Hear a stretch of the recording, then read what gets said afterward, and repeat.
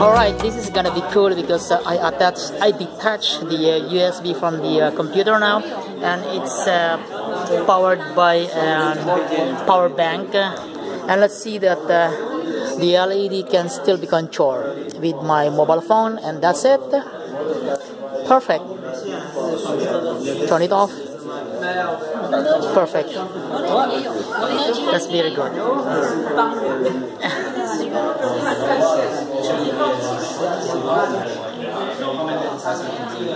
there they are. There they are. breadboard, so you can just put put it in with the pins. One row of pins on either side of the.